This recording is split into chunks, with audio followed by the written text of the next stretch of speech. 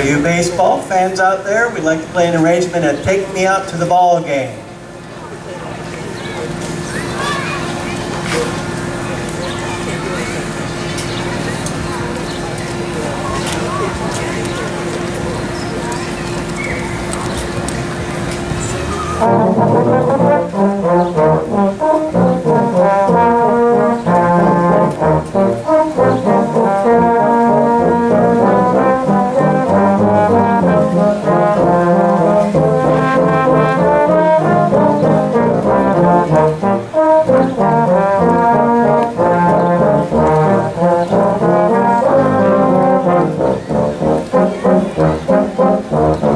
Thank